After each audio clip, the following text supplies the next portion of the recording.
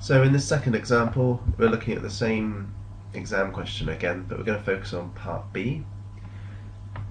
With a mean of 51 and a standard deviation of 3.5, what proportion of the marks will be more than 48? So again, I've got my diagram and we're going to mark in the key parts again. Mean is 51. This time more than 48, well 48 is below 51, so let's say about there. And more than, so this area here. If I find a z value for that, so how many standard deviations above or below the mean is it? Value is 48, the mean is 51, and standard deviation is 3.5. So 48 minus 51 is minus 3. So uh, minus 3 divided by 3.5.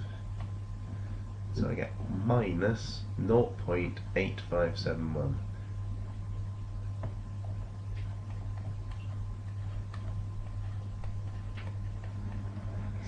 So I can't look up uh, that many decimal places, so we're going to round to 0.86.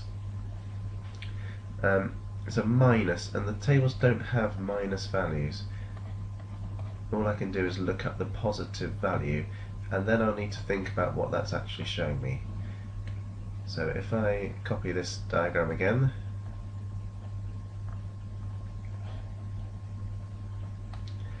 so I can't look up a negative value of 0.81 but I can look up a positive z-score of 0.8 sorry 0.86 isn't it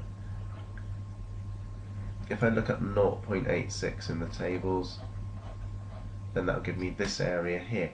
And because it's symmetrical, the positive 0.86 will be the same area as if I was looking at negative 0.86 and above. Can you see how those two reflected would be identical areas?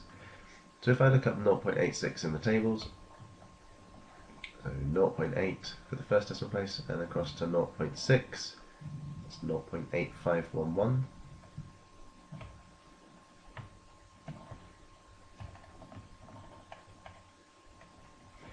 So in this one there's no need to do 1 minus that area, it is the area I want. And if you go back to the original picture you can see that the area is clearly more than a half. If I did 1 minus that I'd get less than 0.5 so that would obviously be wrong. Um, the trick here is always working out whether you need to do minus minusing it from 1 or not, and the pictures are really the best way of sorting that out.